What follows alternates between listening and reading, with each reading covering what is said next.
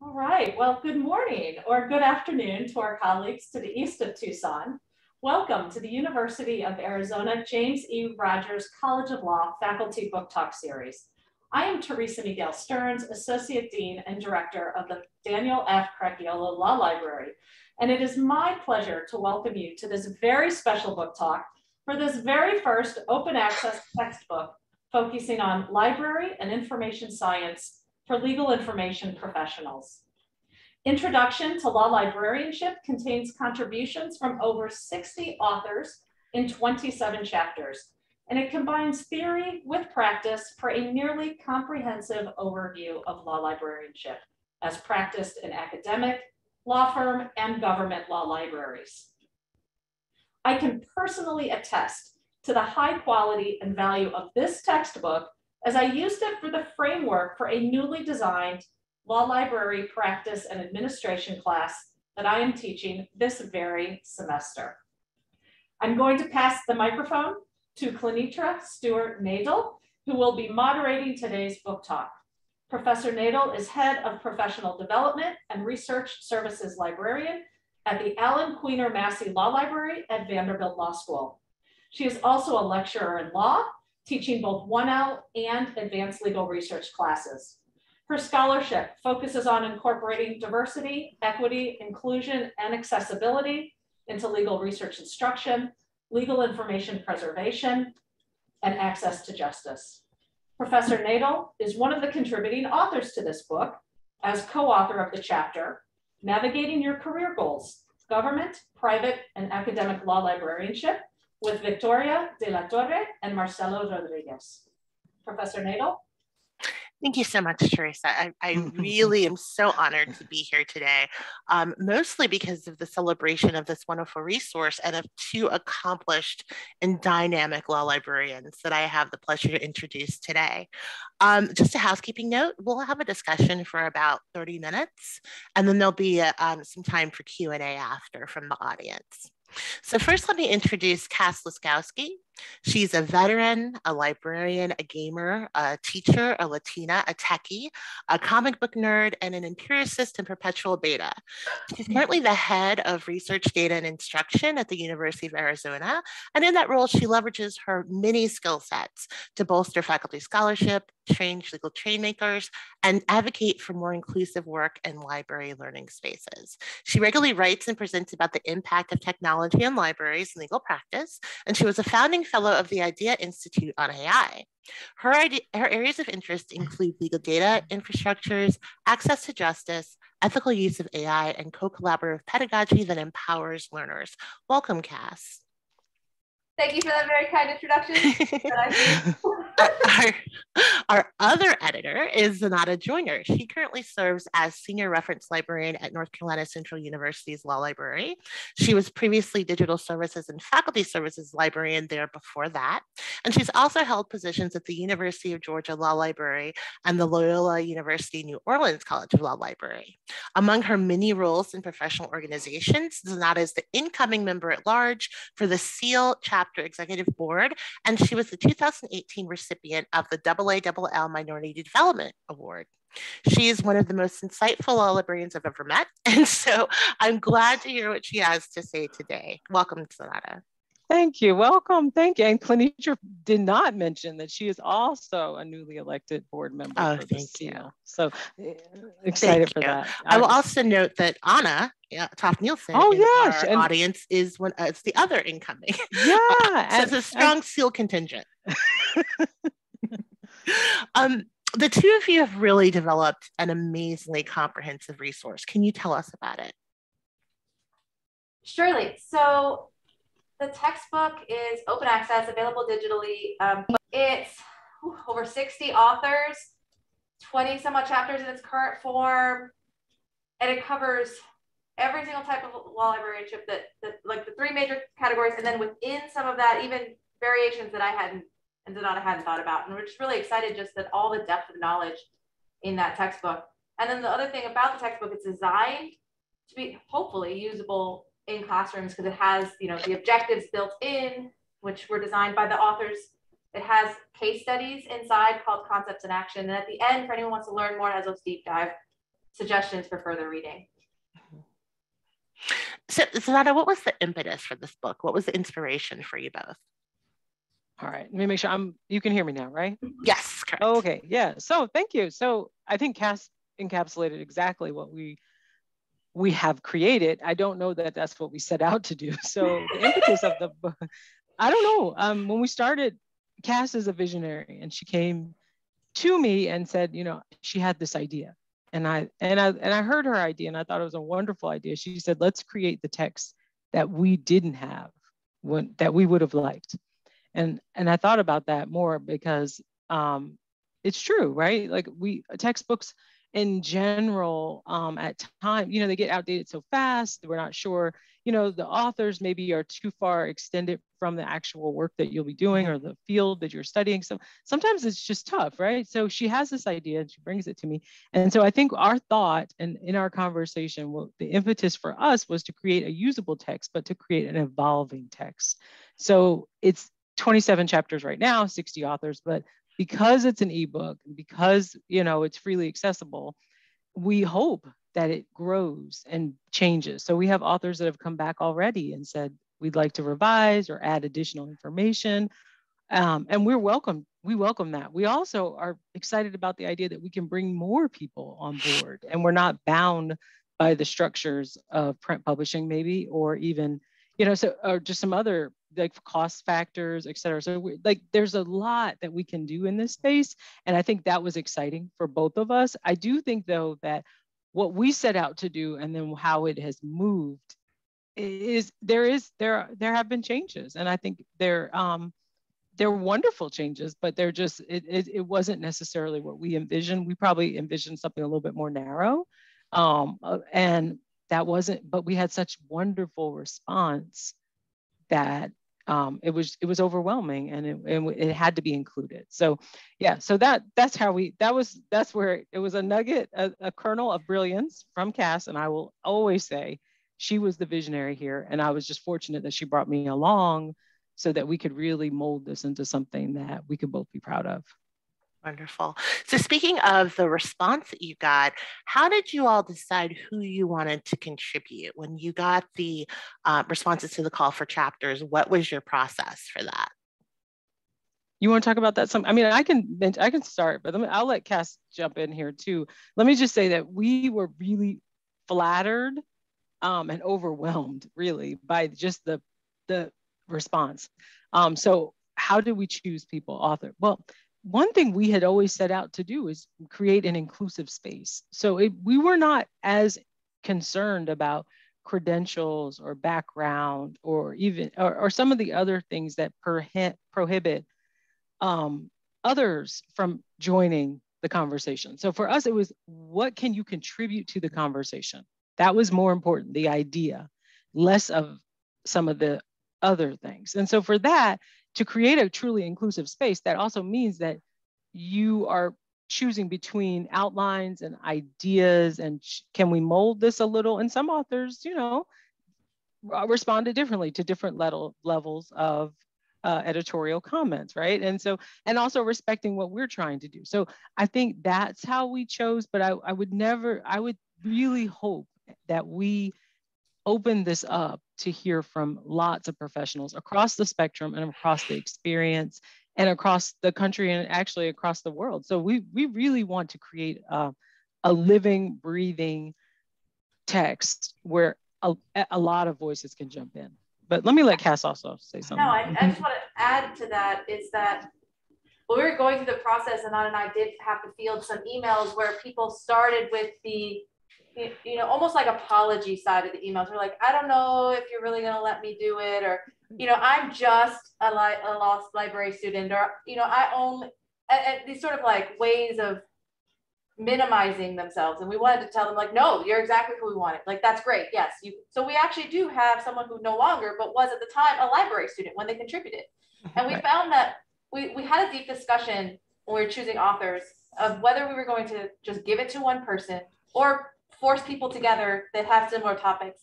And we decided we'd rather make co-authorship because many of these topics, everyone at a different school does a bit differently. Everyone at a different firm does a bit differently, you know, different courthouses. so just bringing multiple perspectives like that together was good, but also just to give opportunities more instead of trying to be like, mm, we only have one space and it just felt very hard. So we wanted to make sure we could, so we, and, and what ended up happening was that that decision to just be as inclusive as possible really saved us in the end and made a better. For sure. One of the things that's so great about this book is that there's several chapters that address diversity, equity, inclusion, and accessibility. And I'm really curious why that was important for you to really put emphasis on that. go ahead, um, Cas. So I think it's important to Zanat and I, period. We met each other double A double L, but we got to really know each other working on the um, then DNI turning into DEI committee um, at double A double And so it was just important to us, and we knew that was going to be a thing.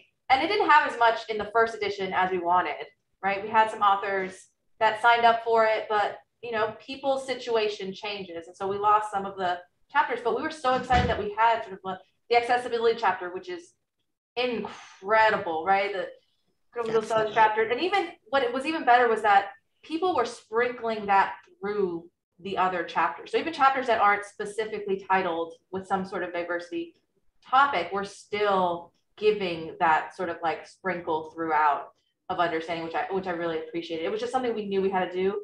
And as as you know, moving forward, we're definitely trying to make sure that the next editions, the next editions have more and more of that because we it's not something you can skip, it's not something you can ignore in our profession, and it's not something we want to pretend you can just sort of sweep under the rug. It is needs to be at the forefront, which is why that stuff's in the first section of the book, the universal topic. It's right there out front, like it's got to be. But I think it's also important what you said too, Cas, about the idea that these topics are not discrete and they shouldn't be separated from other chapters, other topics. And we've talked about that and we've asked, um, you know, we've asked our authors, how can you include some of these things that we're interested in as well and how can you make it part of the discussion? So i think that's important. One that um, you know dei and uh, all you know other acronyms but this idea of accessibility of diversity inclusion it's also equity has to permeate all chapters right. at some space. But the second thing is again i go back to the authors. We did have a student a, a author who was a, a, a student at the time not a student now and cas is right we weren't saying no you have to have these credentials or this this years of service before you have something to contribute because that defeats inclusion right? The idea is that we all have something to share and trying to figure out a way that we can Im- involve those voices and elevate those voices. And so that was really important to us. Um, mm-hmm. and you're right. And, and she touched about those emails that start off and you just, it breaks your heart every time. Like, why are you, why are you qualifying your perspective? Why are you, why do you feel that? Why do you feel what you have to contribute is not valuable? And in our small way, this is what we're trying to do um, for for others is say you're you're always welcome at this table. So let's just figure out how you know the the thinner sections of the book we we might want you at that table but but you know. But yeah we we want those people so yeah. Wonderful. So your finished product is so polished that i think you've made it look deceptively simple about getting this done. Let's dig into the minutia what was your organizational process? How much work was this Oh, so this is a question that I think Zanada put on me on purpose. Um, like you said, I'm the visionary, which means that, it, but that doesn't mean that I don't put the work in. I want to be very clear. It's not, but it means that sometimes I have an idea that I don't fully understand the amount of work that is in front of me. I just think it's important enough that I will figure it out. Um, so at first, it was just about creating structures of success. So I just sort of took some pedagogical principles and tried to create, I mean, at its simplest, it was like a box folder with just instructions to authors that said, here's what we want, length, how we want to organize, what we want to create, these sorts of things, like instructions. I tried to use a, a software uh, a software service called Agantty, which is a project management tool. Failed miserably. We logged people in, and then people who were logged in got dropped. Right. It, it was great. We didn't want authors to be like, communicating on something we made them pay for. That seemed we're going to create an open access textbook, but you're going to pay to play. It just didn't feel right. But that just failed. So then we just we'll manage timelines. You all just do work, and we'll check in. So I think a lot of the work was that sort of checking in because all of our deadlines, COVID happened. Right. we we had the vision and the call before COVID, and then COVID happened. So every deadline we so so it was a lot more work than we thought because we were doing two things. We were doing the textbook, but we were also having to change everything, deadlines, communication, expectations, to give grace and space to people who were living in a Right. unprecedented moment and still wanted sure. to contribute, but almost we almost lost a lot of people because they're like, well, now I don't. I was like, no, no, no, no, no. We will make this happen. We will support you. Please don't leave us. And we were very grateful that authors like yourselves and others like stuck with us. Yeah. And so you know, it made made sense. Made the book like eight months late, but I'd rather have the book be eight months late than not have the book.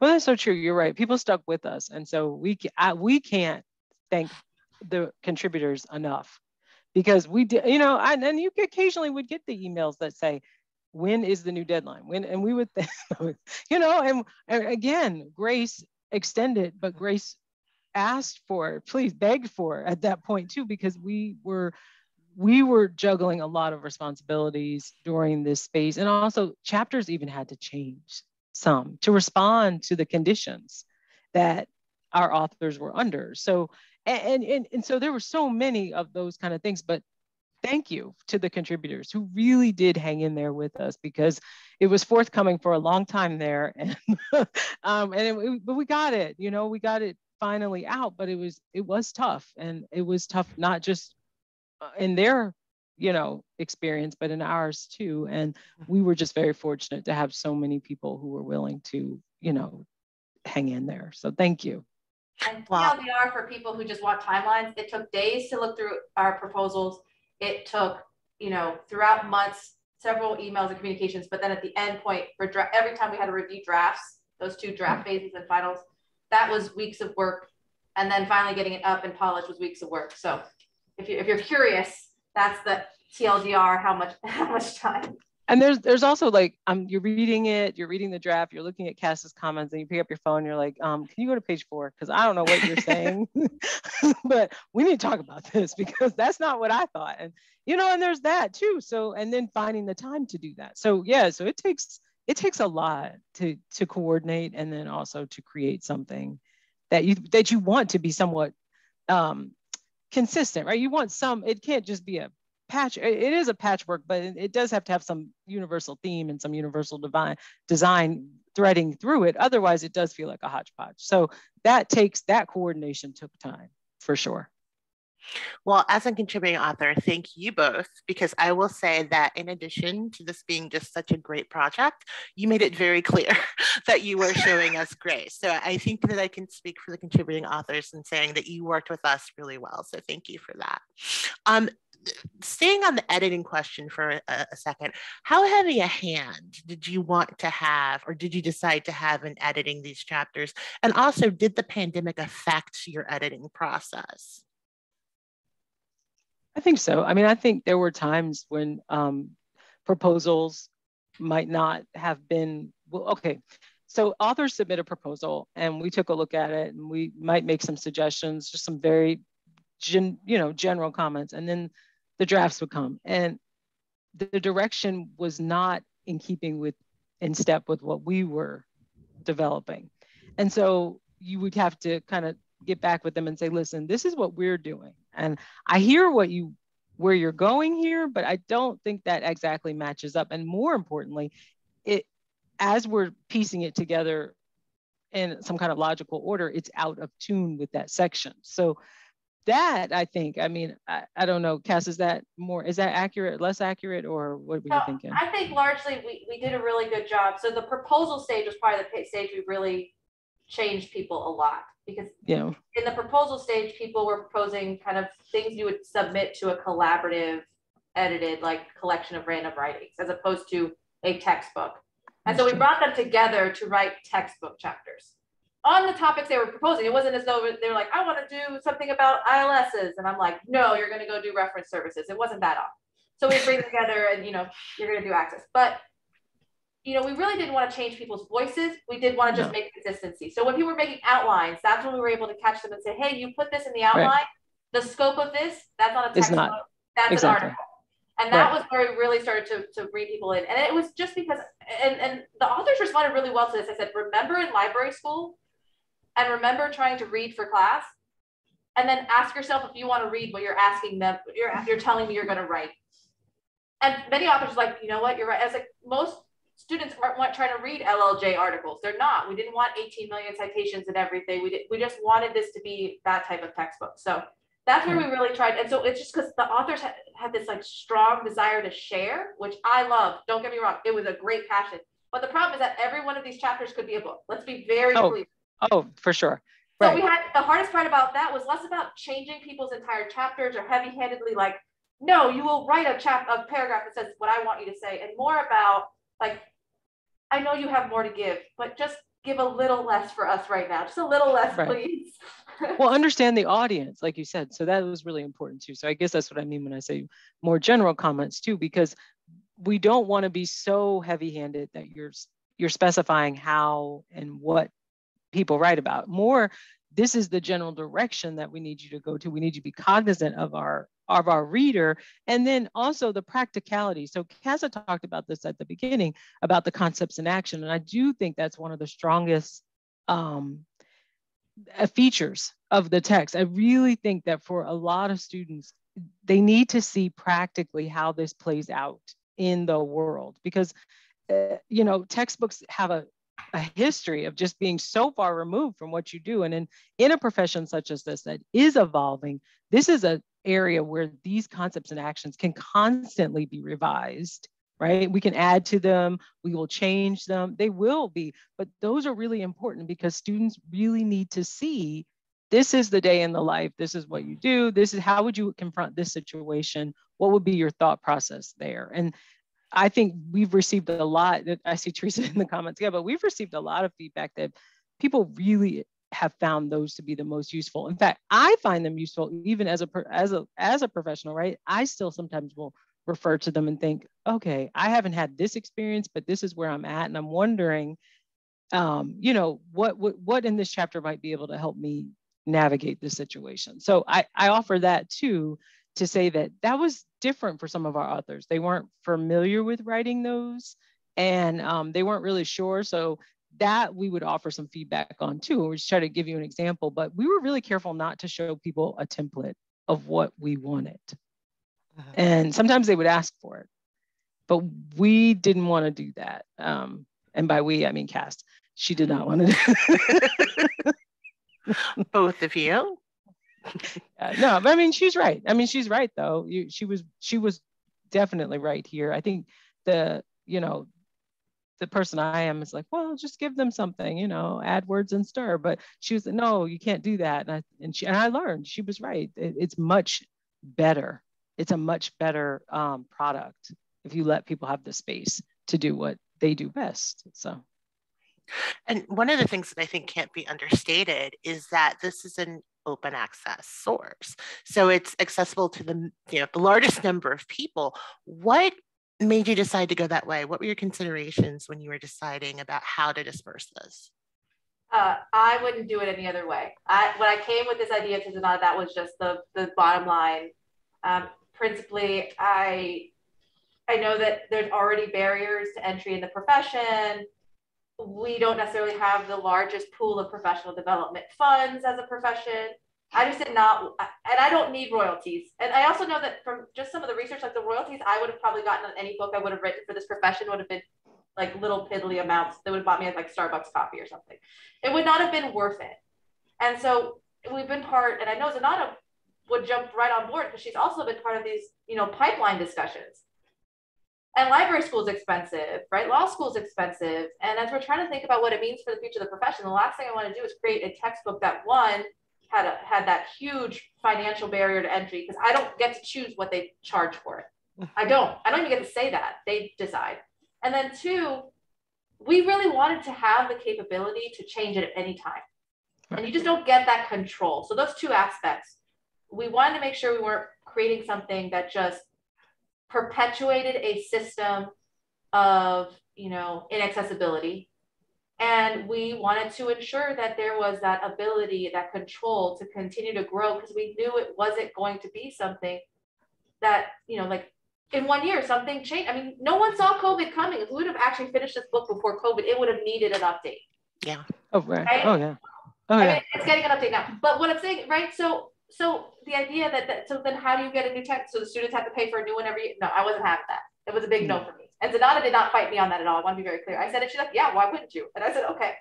Right. No, I mean, I, I, again, she's the visionary, but she's, she was, I mean, I, I agreed with her. And for me, it was the access part. And it was also just, again, it's an evolving text. And I think that's what, what this, this medium allows, right? It allows us now to update, but it also allows us to add. And, you know, as time goes on, we'll see, like there may be sections of the text that, you know, might not always be there. I don't know, but I do know that this affords us that flexibility. Um, and again, it's openly accessible, and that that's very important. So to us, and I think to our authors too. Definitely. First thing, we, yeah, the first thing we did was have them all sign that contributor agreement, and we got no pushback, zero no. for anyone who wanted to write them. Like nobody said no. Right. Everyone was like, "Yeah, of course, that's fine," and sent it right away. Yeah, sure. So nothing goes exactly as planned, as we know. What did you learn anything unexpected, or was there anything unexpected that happened during the process that made you think, "Oh, wait, we didn't consider that"? I am a worse line editor than I ever really admitted to myself. That's that's number one. Um, um, so, I think what did we learn? Uh, well, you know what was unexpected? Well, well, exactly. The the pandemic was definitely unexpected, and then the timelines. But I do think that's so okay. That's unexpected. I think what was unexpected we both talked about was sometimes a reluctance um, of the authors that we, you know, they would have submitted, and and then I and I and I think it's a consequence of what we were dealing with globally. So let me say that. But just oh, they're not going to be able to contribute. You think, oh man, that was going to be so good. We were really looking forward to these folks um, getting their chapter included, and and for different reasons, like you know, personal, professional, and then again globally. Um, they just weren't able to. But again, because this is an evolving text, we can now add them. So now that maybe things are starting to settle down, those mm-hmm. authors, we can come back to them and say, hey, we would love for you, because we would like for them to come back to the project, even if maybe that the date we were pushing for um, wasn't feasible. So I think that was surprising to me. Um, what wasn't surprising is deadlines get blown because of every writing project I've ever participated in, I think we all know that our um, our higher angels tell us that we'll get it done by a certain date, which is what you know. but the reality is that it's tough. It's super tough. So I don't think that was surprising. I do think how long you know, we got it pushed out. But it, frankly, it, it really was not from a lack of hustle. It was just, it, it was tough. It was just a tough time. So mm-hmm. I think for me, another thing that, you know, was surprising is we tried, I tried really hard in the beginning was not to give the authors as much guidance as we could. And we tried, and I did like research on textbooks. How long is a normal chapter, right? Because before we even had them writing, I wanted to make sure they knew what were, how many words, why did I choose those number of words? Like I, I tried to do the research Right. But even with that research, it's just completely different. And so there were some chapters that the drafts came in and they were they they it was almost as if they saw our vision. And there were some chapters where the the content was great, but the, you know, like we just needed them to or reorganize or like, you know, like just move some things around or, or try to make the, the chapter itself flow or we would you know we would learn from a different chapter someone said something and we'd say hey can you maybe reference this topic? Right. We didn't mean to just add something to you, but we heard this come up. is relevant to you? Could you add? And, and, and so we tried really hard when we were asking for those those types of changes to be great. Like if, if it's a no, it's a no. But for sometimes it was just sort of like it's a different writing style, and you had multiple authors coming together, and sometimes we had to be the ones to make unity in the collaborators writing. This is true. Uh, this is true. Yeah, because working with people is is interesting always, and when you have multiple collaborators, you could and and some you could tell there was a switch in voice or change and and so helping people to get some kind of you know a, a more integrated te- like chapter like a, a more uh, cohesive right alliance because you do want the multiple voices but it, it, it needs to sound it, it needs to read in a way that the reader can follow so i think that was um, that was definitely surprising sometimes that um, how hard it could be, you know? Well, because I, I, think I just never had to do that. To, like doing it with your own collaborators is different than doing to somebody, a different group. And so For it sure. felt like going from somebody in the choir to going to the choir director. And I'm like, how do I get those people to want to be harmonious without feeling like I'm just being mean? Because I'm not trying to be mean. I'm just like, hey, you're not. pitch, you know? um, because well, because people were dealing with enough. So we weren't trying to come up, you know, and and that sort of with that tone. We are just sort of like, this just feels a little disjointed, or this is said here, but doesn't get covered in this section where you could you add this? Um, and I actually think, like for example, one of the, I guess, least uh, traumatic ones, like in your chapter, I think someone had a heading in one of the the three parts. I was like, hey, can you add that awesome heading to all of yours? And and you guys just mm-hmm. did it, and that's right. all it was. It, it just helped to make it like flow and it wasn't though the chapter wasn't great. It was just like that like i could i could just imagine in my head as, an, as a student being like well what is the answer to that question for these other two parts? Right. Right. And so we were just answering that in advance. And so that was the kind of thing we were i just didn't expect didn't know how to do wasn't sure i was going to have to be like how much time that's going to take or how to convey that. That that messaging that collaboration was just new to me. Mm-hmm. so I think it's sometimes difficult for someone who creates something wonderful to sit back and take in the enormity of it. Now that you've had some time to reflect and the first edition is done, still working on the future, um, how does it feel? How does it feel to have uh, contributed to the literature in this way? Surreal. Mm-hmm. How so?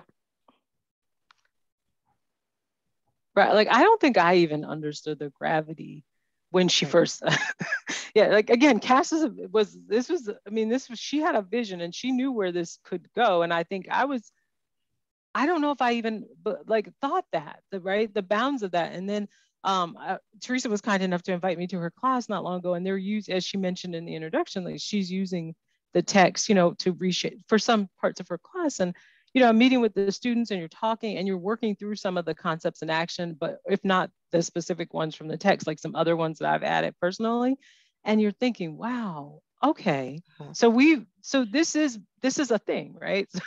so this is a thing, and these students really need this foundational understanding of some of these subjects, and at this point, um, this is the most um, relevant or the newest, right? The newest information again, because it's an e-text. So like, it, it just was surprising to me. I, I, I, guess it didn't even occur to me until months later mm-hmm. that for some, for our students that we are hoping to pipeline into our profession, that we're, we want to bring along with us, the, the one of the first introductions to our profession is through this text. And that, that was, that was very humbling mm-hmm. um, that, in that a lot a, of ways. Yeah, that's a great way to put it. And I think so for me, the reason it's still surreal, um, I mean, we get tons of positive feedback, and we tried to share that with our authors recently.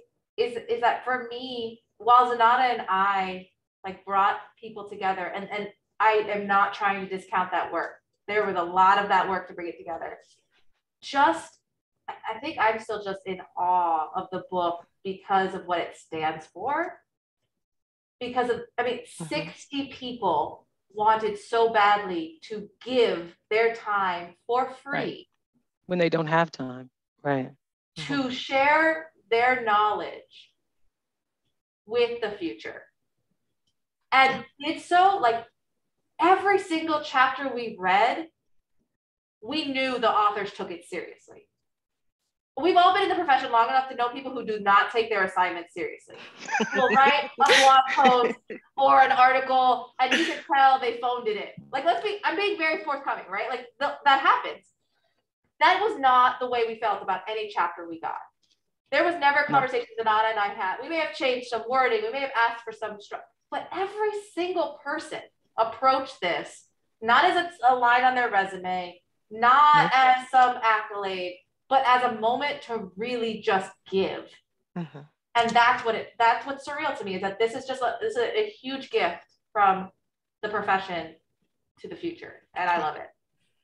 That's I think so. Very... You're absolutely right. It's it's such a service. It's such a service though. It's such a service and it's such a service from different places in professional development, different places and spaces in your workplace, different places. Just, that's so important because I think what we have a tendency and across all walks of life is just to rely on certain people to give us the map.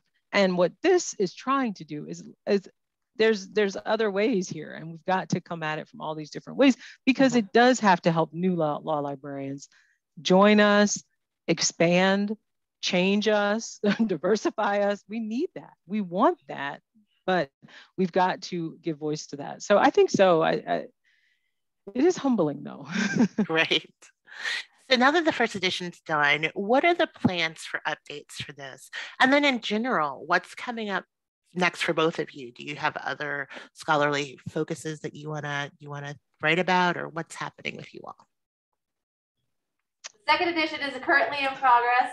This is true. Mm-hmm. Uh, some authors are already updating.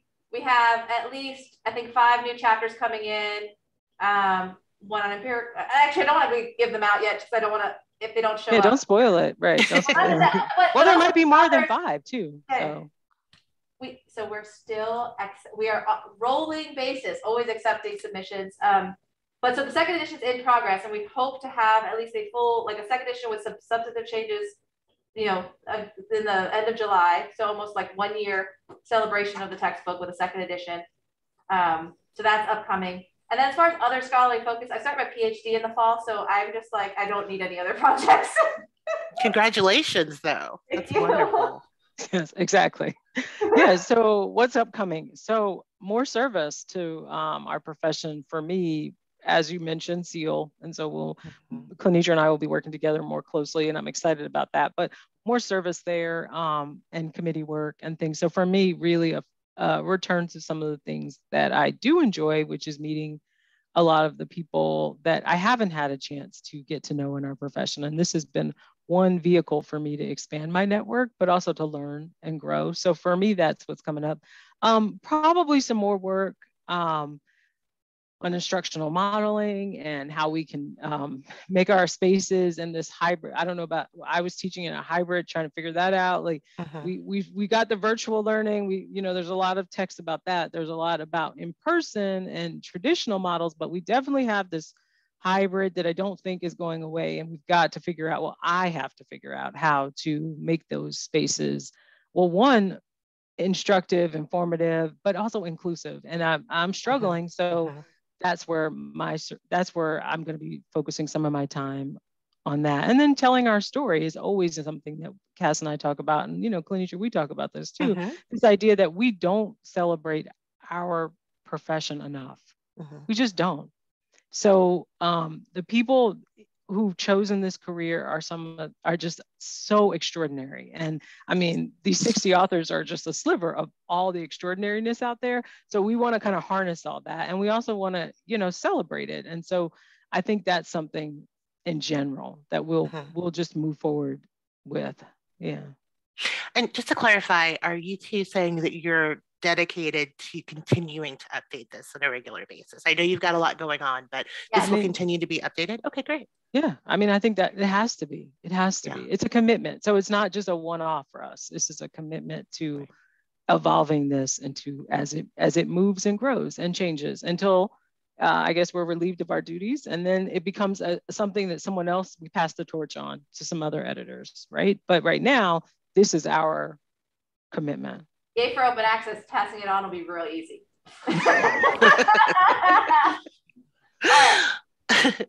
um, Cas, you mentioned accepting new chapters. Um, should if people are interested in proposing a chapter, should they email you and yep. Zanada, or how should they proceed? Please do email either of us or both of us.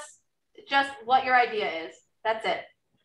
The proposal need not be fancy. I want to write about X, and Zanada and I will tell you whether X has been covered whether you know you should cover Y because Y is more alive. Like we'll just, but yeah, just let an email, two three lines, we'll get there. Wonderful. So I do want to save time for questions from the audience, and we've already had several come in. The first um, that I'll mention is um, with the new editions that you'll be doing, are you going to archive old editions of the book? They're archived in Heinz Spinelli Law Library reference shelf. Oh, Okay. Right. So so that's there. Okay, great. Um, do you have tips or suggestions for other people who might want to put together a book? Like anything that you can recommend that they do towards success? Um, well, I think it's a wonderful idea. I think the tip is to be dedicated to the project, but I think you have to be dedicated to the mission, not mm-hmm. necessarily the subject. And um, again, the, when Cas and I first talked about this and how she described the vision, mm-hmm.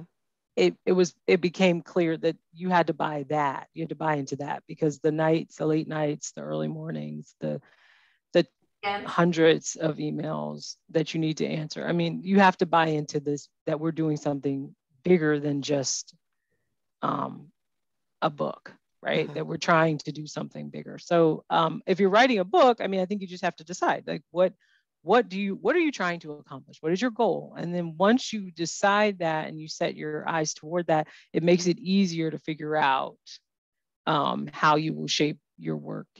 But um, i think i highly recommend that others colleagues students friends other people i highly recommend that they embark on um, similar projects, different projects, but yes, get your get your voice out there. So Zanada speaks well to the mindset. Um, as far as the like practicalities of it, if you're writing for yourself um, or writing with groups, organization, like figure if you're writing for others, figure out an organization system. Everyone like everyone will work. When we talked about it, I put it on box because everyone can go to a box folder. Uh-huh. Everyone uh-huh. needs Word documents and we gave them exact like we, we will so have a clear idea of what you're asking people because you're going to get questions and if you can refer those questions back yeah sometimes you'll have to expand but if you don't start with that clear idea about what exactly you're telling them to do you're going to fail and then tracking that stuff so we had excel sheets with all the authors all the emails so that i could just do mail merges we had you know like i was tracking what was in what it was coming what hadn't come in who i needed to talk to what was you know what was falling and not all of it worked well. I've moved it to Notion, and I'll share that eventually. I just don't want to overwhelm people at the present moment. Um, but you know, like that project management aspect was very, very. It needed to be done because it would have been really easy to have been overwhelmed by email and lost track of everyone. And the authors were. I mean, you they had their focus, but it you know so but that doesn't mean that you they want to not feel cared about and they feel cared about when you're sending you know emails to everybody and you're informing mm-hmm. people that what's you know like that transparency that communication um you like you have to take moments out of your day where you feel overwhelmed and remember that you owe it to people you're asking something of to right. give them some them. clarity right. or guidance yeah and it's not always easy right Another question from the audience Have you given any thought to an introduction to law libraries text for allied professionals? as opposed to library science students? And if so, what, what do you think about that? I'll say right now, I haven't thought about it at all. I am thinking about it now. Me uh, too. As I was going to say, I hadn't thought about that, but that's a wonderful idea. I it, yes, I love that. But I had no. I honestly, I had not thought about it. It's a wonderful idea, though. So um, I'm not sure who who asked that question, but if you want to reach out, let's talk about this. Like, I don't, I don't know if it's something that we could do, but I don't know if it's not something we couldn't support. So yeah, yeah. Oh, right. it was Dawn. Yes. Okay, Dawn Smith. Yes, I will. All right. so I will. You have our info, Dawn. Reach out. And I'll reach out to Dawn too. we only have a couple more minutes, but I do want to ask this other audience question. Um, what experiences uh, do you suggest to current law librarianship students to help prepare them for entering the profession? Committee work is usually big number one. Um, and just group work of some kind. So teaching, if you're going to teach, that's always great, but some sort of like, and I don't mean in classes because class groups are just never the same as actual like colleague groups. Because usually if you're in a job, at least everyone wants to make sure that they don't get fired. If you're all in a class, the, the, the incentive structures are different. But like trying to find ways as a library student to just find colleagues, so find a library or somewhere, you know, like just that's why committee work does a really good job because you'll have that sort of opportunity for group work to just build connections and understand how you communicate. Because the biggest hurdles for me were learning communicating with my peers, understanding what they were doing, what I was doing, and organizing our work and staying right. And all of that, all those skills happen with committee or group work together. For sure.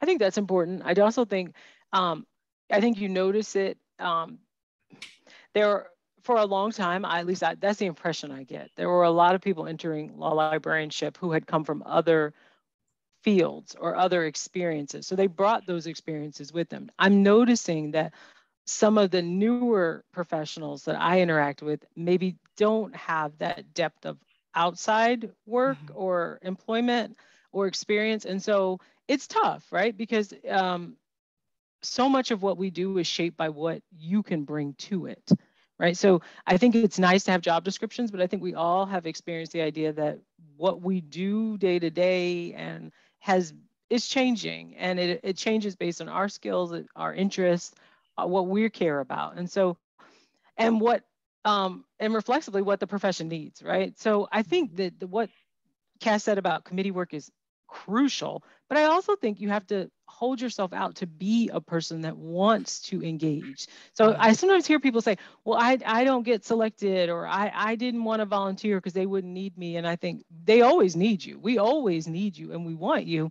But um, you have to come out and let us know, like, please put me on a committee. Please sign me up for this because we you know we we just don't know and eh, there's different there will be different times in your life when you can engage more deeply with your colleagues and sometimes you can't but i think you do have to set yourself out that you're willing and able and interested in participating with the others because you know we're we're certainly not going to write your name Clanitra on a committee that you never expressed interest in but you know i will because i know Clanitra.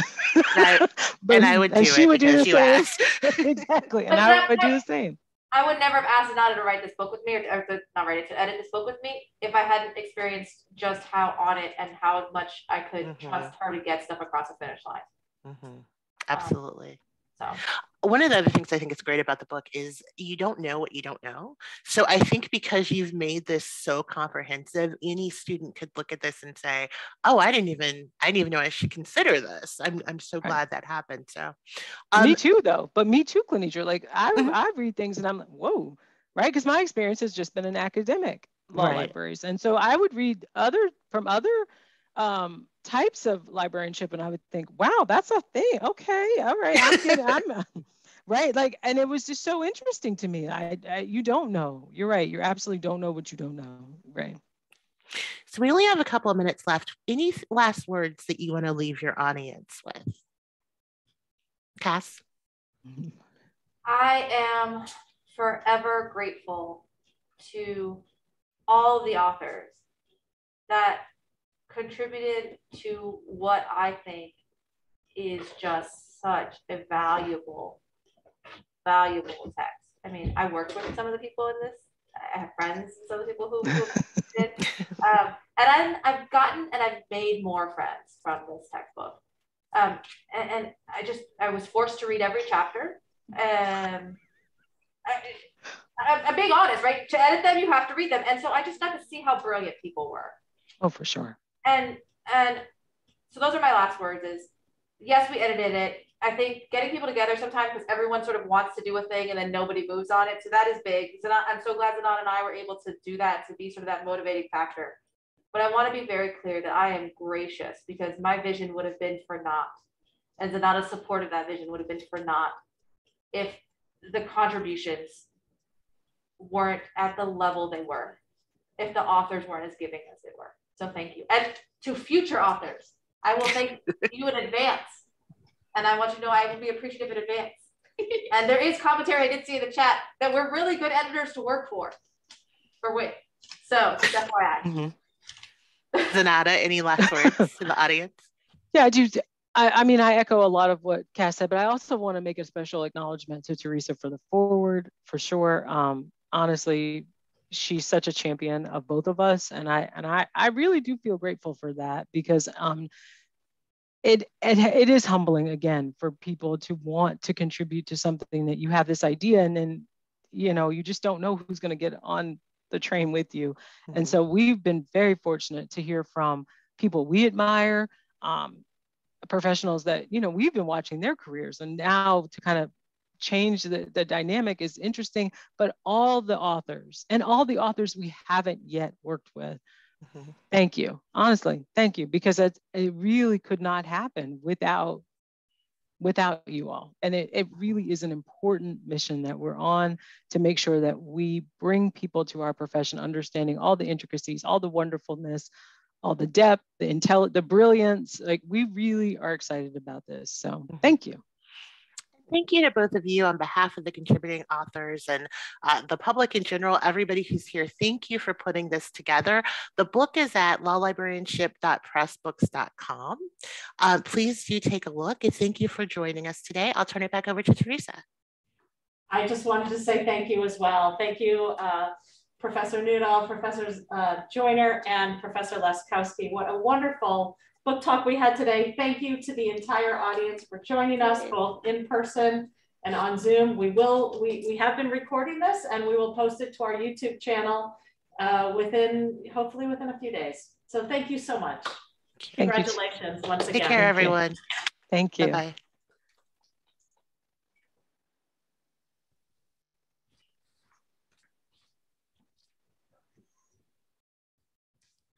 Did you, did we stop recording? Let's go. All right.